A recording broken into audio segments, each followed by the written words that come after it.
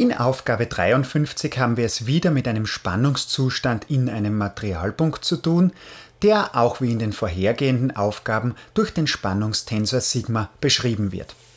Es sind wieder die fehlenden Komponenten des Spannungstensors zu bestimmen, sowie seine Hauptspannungen. Außerdem sind diesmal auch die Hauptachsenrichtungen und die zugehörige Hauptachsenform des Spannungstensors zu berechnen. Zuallererst füllen wir den Spannungstensor fertig auf. Das ist einfach und das schreibe ich auch gleich direkt rein. Haben wir auch letztes Mal besprochen. Alle diese Objekte sind symmetrisch, also braucht man nur spiegeln um die Diagonale und hat sofort die fertige Befüllung. Also 1, 1 und 2 steht da drinnen. Damit ist ein Teil des Punktes A abgehakt. Die Hauptspannungen sind eben noch offen. Die Hauptwerte Lambda rechnen wir mal aus mit dieser Determinantenformel. Determinante A minus Lambda mal Einheitsmatrix in der gleichen Dimension wie A natürlich, muss das immer sein, muss 0 sein. Manchmal lesen Sie da I statt dem 1 äh, I verwende in dem Fall hier nicht besonders gerne, weil die Invarianten I hassen. Und dann heißt das auch noch I, äh, das versuche ich zu vermeiden. Wenn man das macht, setzen wir einfach ein. Das A, machen wir es vielleicht langsam. A ist 311, 102, 120. Und das, was da hinten steht, heißt nichts anderes als Lambda in die 1 rein multipliziert, also Lambda 0, 0, 0, Lambda 0, 0, 0, Lambda.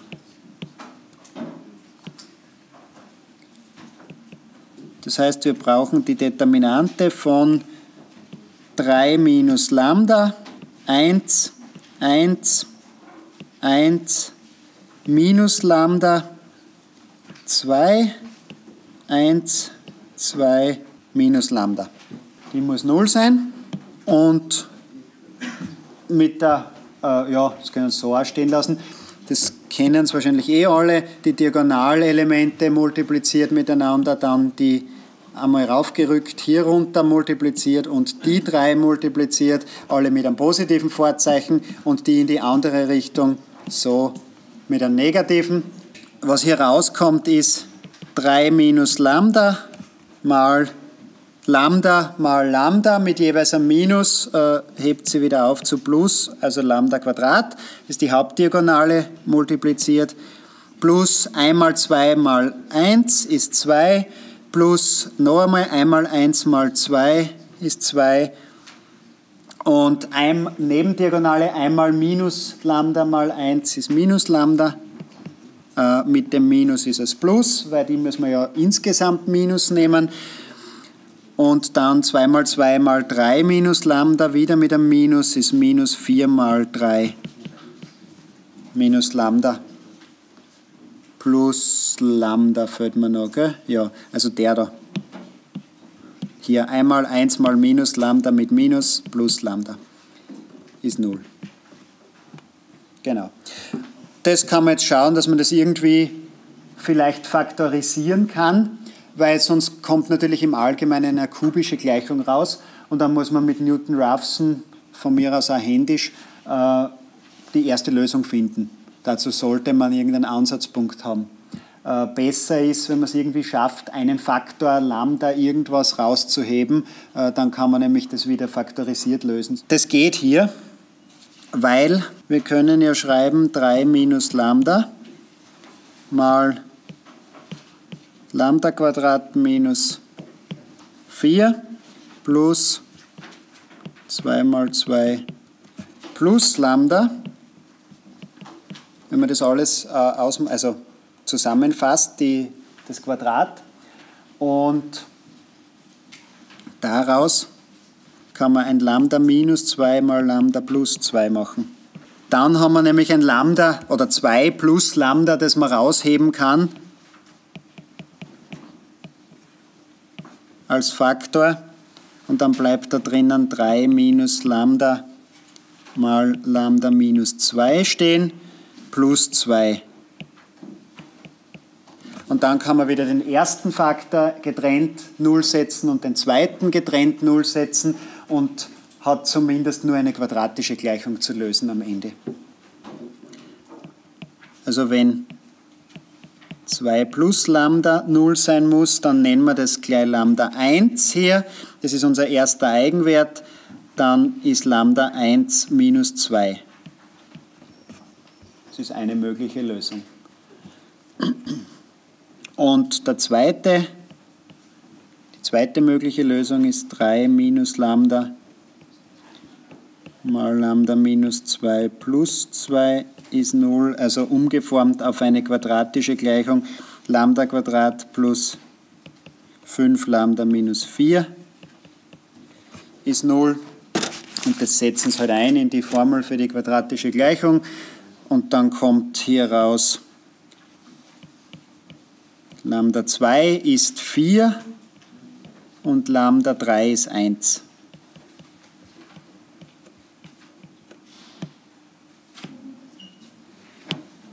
So.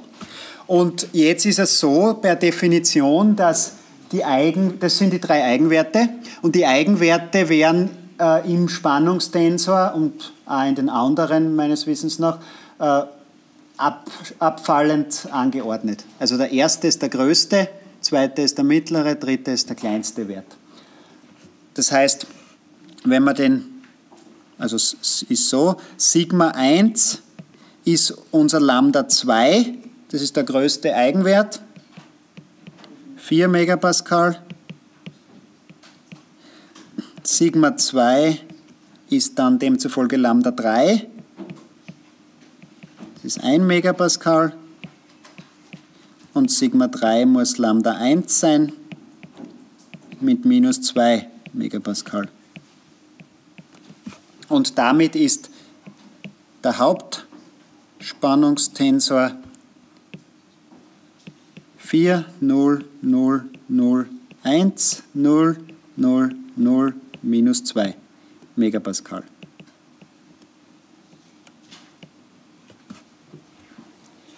Und davon kann man jetzt wieder zum Beispiel die Invarianten berechnen. Die müssen das gleiche ergeben wie für den ursprünglichen Spannungstensor, deswegen sind sie ja invariant. Die haben Sie sich wahrscheinlich eh beim Beispiel 51 angeschaut. Äh, sonst schauen Sie es am Video noch einmal an, wie das genau geht und wie das zusammenhängt.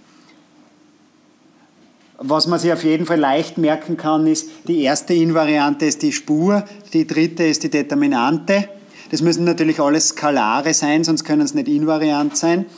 Ähm, und die mittlere ist ein bisschen komplizierter. Das sind die Nebendiagonalelemente, also alles, was nicht auf der Diagonale liegt, quadriert abzüglich der Produkte der drei Diagonalelemente.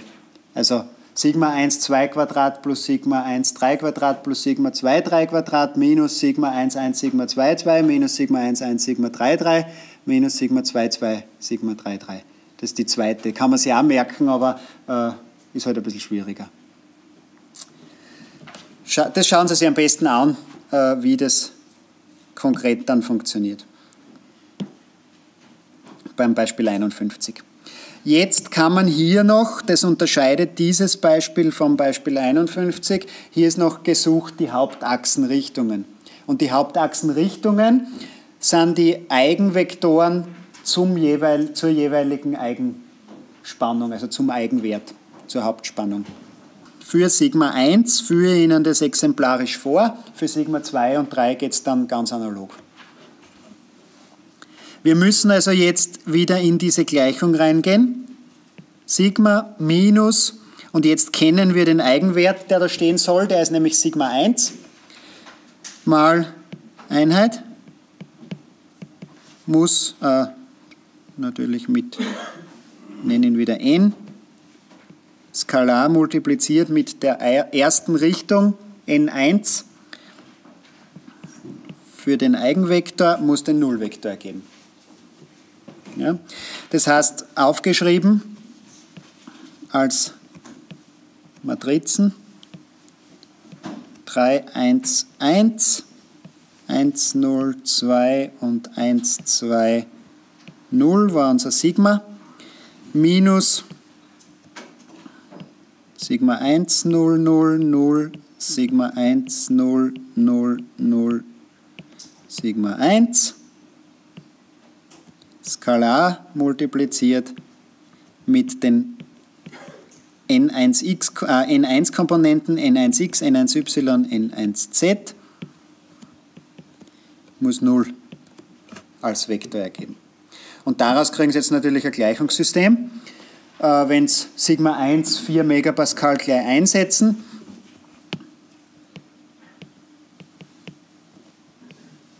die Einheit lasse ich noch weg, aber hier schreibe ich es her, in, in der Matrix-Schreibweise lasse ich es weg. Kommt hier minus 1, 1, 1, 1, minus 4, 2, 1, 2, minus 4 mal n1x, n1y, n1z gleich 0 heraus. Und daraus generieren wir drei Gleichungen, nämlich minus n1x plus n1y plus n1z ist gleich 0, dann n1x minus 4n1y plus 2n1z ist gleich 0 und n1x plus 2n1y minus 4n1z ist ebenfalls 0. Das sind Gleichungen 1, 2 und 3. Und ich weiß nicht, wer das ausgerechnet hat, hat vielleicht festgestellt, dass da lineare Abhängigkeit gibt drinnen in dem System. Äh, das heißt, man braucht nur eine vierte, um es wirklich lösen zu können. Äh, und die vierte ist, macht sich einfach den Umstand zunutze, dass das ein Einheitsvektor sein muss. Das Quadrat aller Einträge summiert muss wieder 1 ergeben. Also n1x plus n1y plus n1z gibt 1, ist eine vierte mögliche Gleichung. Und damit kann man dann die Komponenten berechnen. Ich berechne es jetzt nicht konkret, weil ich gehe davon aus, Sie können lineare Gleichungssysteme lösen. Äh, und das Quadratische da unten auch. Ähm, deswegen einfach nur hergeschrieben, was kommt raus. N1z muss N1y sein, kommt auf jeden Fall raus. Das kriegen Sie durch Verschneiden von zwei beliebigen von diesen 1, 2, 3 Gleichungen. N1x ist 2n1y und dann muss man halt n1y noch ausrechnen irgendwo, indem man es zum Beispiel in die vierte einsetzt und kriegt im Endeffekt für diese Werte raus n1, fangen wir von oben an, n1x ist 2 durch Wurzel 6, n1y ist 1 durch Wurzel 6 und n1z ist ebenfalls 1 durch Wurzel 6, haben wir ja oben schon gesagt, ist gleich n1y. Das heißt, unser Eigenvektor ist 1 durch Wurzel 6, 2, 1, 1. Ja? Und ganz gleich geht es für die anderen beiden. Sigma 2 einsetzen, das gleiche machen, Sigma 3 einsetzen, das gleiche machen, Gleichungssysteme lösen.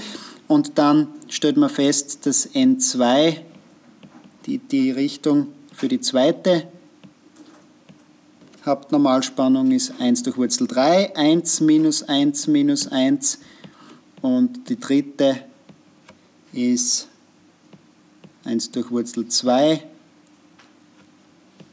0, 1 minus 1.